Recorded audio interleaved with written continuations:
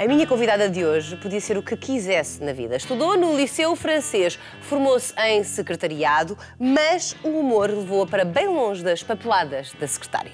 Esteve no coro de dois festivais da Eurovisão a cantar ao vivo, nada de playback.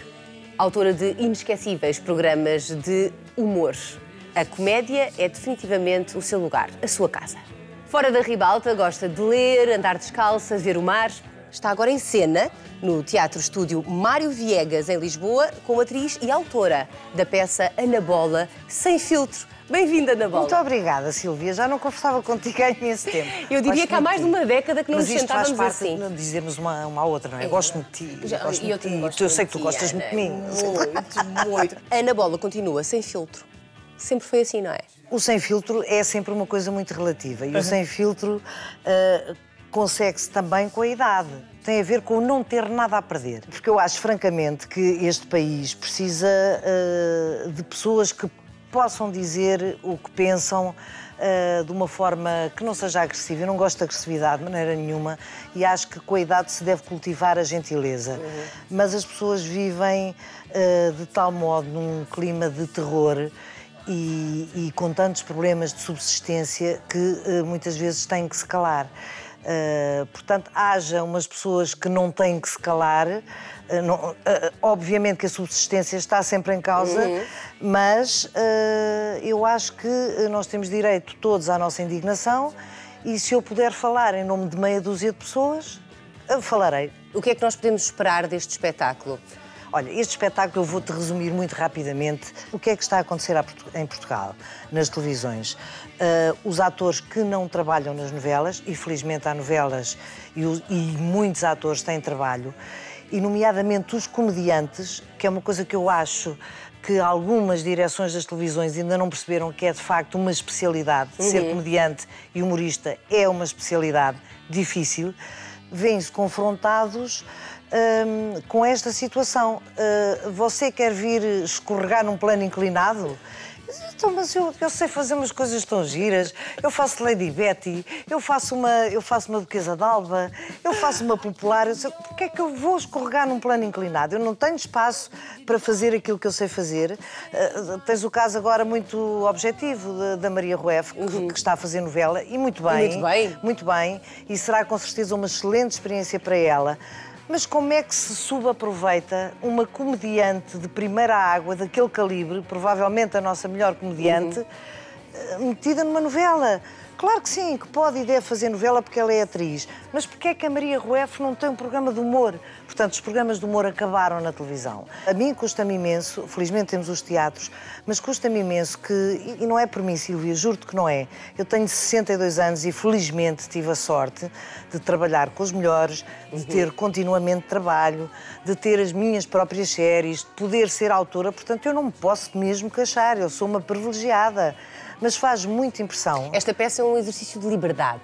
É um exercício de liberdade. Não, não, não direi um manifesto, porque isto é muito mais uma coisa irónica do que Morra outra Dantas, coisa. morra Pi. Agora, faz-me impressão que os meus colegas comediantes, que são Sim. muito bons e têm 40 anos e 30 e tal anos, não tenham perspectivas. Uhum. Uh, Chateia-me. E, portanto, vamos nos rir com a situação ah, atual. Ah, é, é, no fundo, isso que, que vamos É no fazer fundo nesta... isso. Eu, atriz Ana Bola, tenho que ir a um casting uh, para poder trabalhar na televisão. Casting esse onde me vão pedir que eu cante, que eu dance, uh, que eu faça striptease, já é um bocadinho demais, mas uh, quase que podia ser, que eu faça um cozinhado, enfim, que concorra para, um, para, para os talent shows para poder ter trabalho na televisão. Uh, não está assim tão longe da, da- da- da realidade. Claro que isto é visto de uma forma muito divertida e muito irónica. Eu acho que o humor tem a obrigação de fazer rir as pessoas. Portanto, eu quero que as pessoas se escangalhem a rir. Esta peça inclui também alguma interação com o público. Que papel é esse que o público tem de encarnar?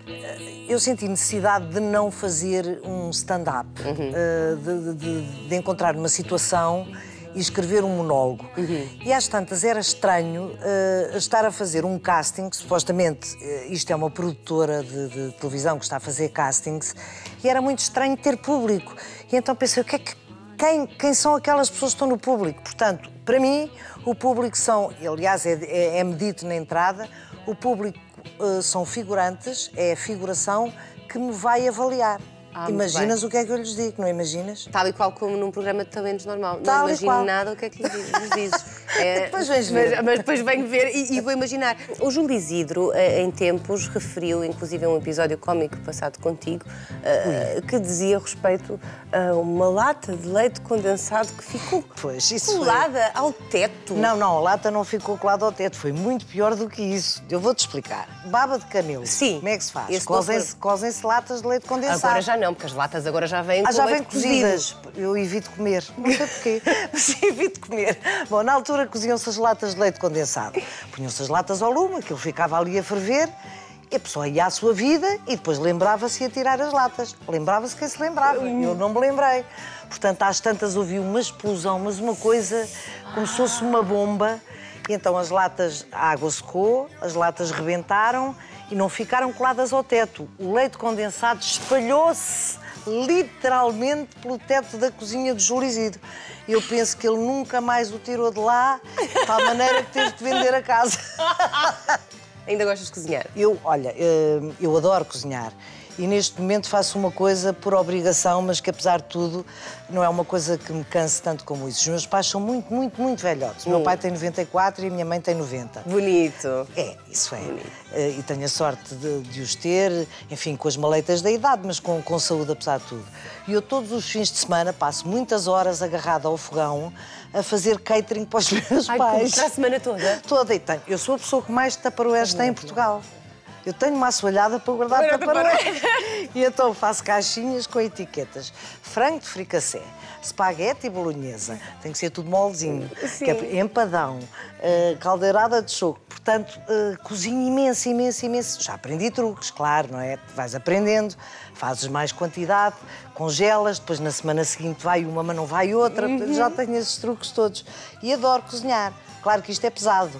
Uh, e, e transpira só fogão e tal. Eu hoje em dia dou muito mais valor às pessoas que estão no- nas cozinhas dos restaurantes. Mas sai do coração. Claro que sim, claro que Não é? sim, claro que sim. Em 1976, quando estreias com a atriz, já eras uma mulher madura. Essa maturidade foi importante para a forma como depois uh, Eu em te 76 consolidaste? não era uma mulher madura, tinha Não? 24 anos, não era? Já Faz não- as contas. Mas já eras mãe? Eu fui mãe, uma criança, tinha acabado de fazer 20 anos. Eh, ainda por cima, eh, eh, não era mãe solteira, porque era casada e Sim. a criança tinha um pai, só que o pai estava na guerra. Eh, portanto, não, não foi uma situação muito Convencional. fácil. Claro que eu sabia que tinha que subsistir e que o meu filho tinha que viver e que tinha que ter determinadas condições para viver eh, bem. Mas eu tinha tudo por viver. Ah, portanto, esta minha ida para o teatro teve a ver com um bocadinho também com, com, com a liberdade. Da mesma maneira que teve a ver o meu casamento. Ah, eu, eu não te estou a dizer que não estava apaixonada pelo pai do Tiago, ah, mas o que aconteceu também ah, foi que essa paixão foi um bom pretexto para eu ser livre, para sair de casa dos meus pais. Na altura, as, as raparigas não faziam o que, o que queriam. Eh, não, não saía à noite, assim, por dar cá aquela palha, não se ia aqui, não se ia... E eu queria ir.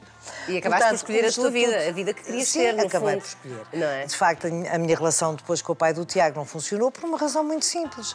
Eu fiquei a crescer em Portugal, ele ficou a crescer na guerra. Quando nos voltámos a encontrar, éramos duas pessoas completamente diferentes.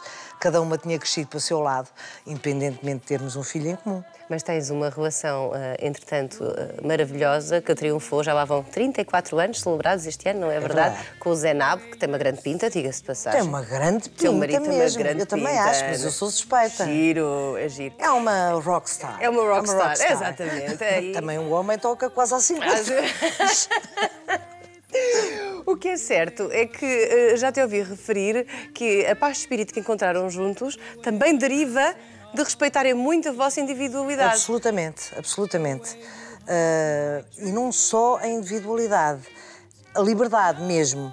Porque hum, eu acho que só consegues manter um casamento tanto tempo se respeitares mesmo a liberdade do outro.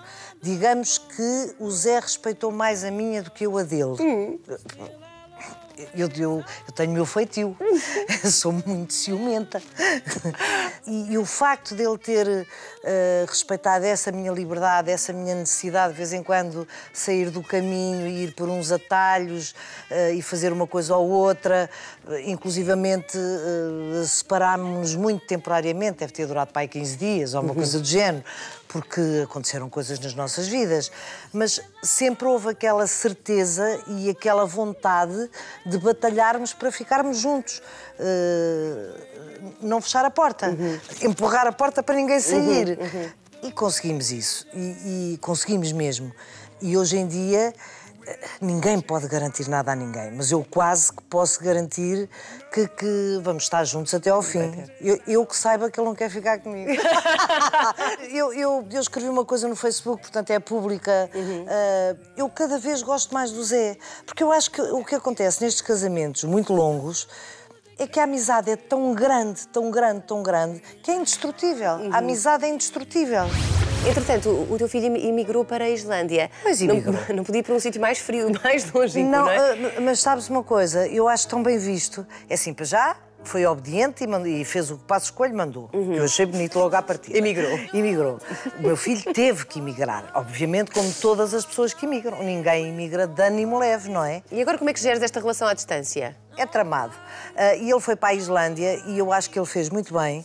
Eh, porque a Islândia é um país absolutamente extraordinário, eh, que se recompôs de uma crise de uma forma eh, maravilhosa. Claro que eles são só 300 mil, portanto a coisa é completamente diferente. E o Tiago escolheu a Islândia porque é um país onde eventualmente ele não teria muita concorrência uhum. e onde, principalmente, a minha neta poderá ser educada da maneira que aqueles pais querem educar a miúda. A minha neta já tem 14 anos, é uma miúda muito vocacionada como o pai para as artes, para o desenho, para as artes gráficas, computadores. Uh, portanto, ela ali pode ser o que ela quiser, uh, pode estudar o que ela quiser e se calhar vai arranjar trabalho. O que é que ela diz à avó? ela acha a avó absolutamente maravilhosa, maravilhosa e humilde. não, eu acho que a minha neta gosta muito de mim e eu adoro-a, como deves imaginar. Ela é uma miúda incrível, uh, muito bem educada. Com sentido de humor? Tem muito tem. sentido humor, tem muito sentido humor. É muito suave, muito discreta. Uh, eu, eu também era uma pessoa muito discreta uh, e na idade dela era, era mesmo. E era tímida até, sério, sério. Por muito que não acredites, é verdade. Uh, agora, tenho imensas saudades dela, imensas, imensas. Dela e do meu filho e da minha nora, obviamente. Aparentemente a solidão não combinaria com a bem disposta Ana Bola. Eu não me sinto solitária, nem sinto solidão, mas eu gosto muito de estar sozinha. Eu não sou o tipo de pessoa que tenha a casa cheia de amigos e que passa a vida a fazer jantares e almoços. Não sou. Adoro estar no meu cantinho, muito, muito sossegadinha. Eu moro no meio de um pinhal. Um pinhal é uma coisa calma. Não tens medo? Tenho medo de nada. Tens vizinhos? Tenho poucos, não tenho medo de nada. Tenho três cães deste tamanho, tenho que ter medo de algo de quê? A que é que te dedicas nos momentos em que eh, no trabalho não há tantas oportunidades? Eu vou dizer uma coisa. O que eu sinto uh, aos 62 anos é que tenho tudo por fazer. Eu tenho milhares de livros para ler, milhares de filmes para ver, montes de sítios para conhecer, uh, montes de comida para cozinhar, uh, montes de cães para alimentar. Portanto, tenho imenso que fazer. Em 40 anos de carreira, que mensagem é que retiras desta experiência acumulada com o tempo? Olha, eu sinto-me de facto uma privilegiada. Uh, não só por ter podido escolher esta profissão uhum. e ela ter-me aceite, como tive a, a, a, imensa sorte de trabalhar com os melhores. Uh, e, e, a minha vida tem sido eh, uma aprendizagem constante. Portanto, eu passei a ter uh, outra visão das coisas, a empenhar-me muito mais naquilo que fazia, a ser uh, mais ambiciosa, e isto tem a ver com ambição profissional, uh, a ir um bocadinho mais longe, a tentar escrever, a tentar ser autora, a tentar fazer cada vez melhor. E eu acho que essa é a aprendizagem de uma vida, seja em que profissão for. Significado é que tem para ti fechar um ciclo, fechar os ciclos? Fechar um ciclo é abrir outro, sempre. Portanto, nunca, nunca, nunca me parece que fechando um ciclo não vai haver nada a seguir. Uhum. Uh, e, se, e se vou abrir outro é porque já está a acontecer alguma coisa. Portanto, não sou nada de. Mesmo imagina tu que eu agora deixava de trabalhar, vai-se abrir provavelmente o, o, melhor ciclo da minha vida, que é o da liberdade, uh, de poder ser livre, uh, de, não, de não ter que trabalhar, de poder estar com os meus amigos, com o meu marido, com a minha família, sem horários. Livre, percebes? Uh, e só não te digo de pôr umas rastas e de, de alugar uma autocaravana, porque já não tenho idade para isso. Ana Bola sem filtro, em cena no Teatro Estúdio Mário Viegas. Até... Renovado. Renovado. Renovado. Giro. E hum, até 19 de outubro. E depois regressam, fazem o interregno e regressam dia 28 de outubro e ficam até 1 de novembro. Tu sabes tanta Não, é, é esta maquineta que sabe. Ah, é fabulosa. Pois. Olha, vamos tirar a nossa fotografia para o Facebook. Mas espera então, lá, espera aí. É, serve de espelho, não é? Espetacular. Isto é, isto é muito bom. Tem delay, mas... Tem, tem. Então vá.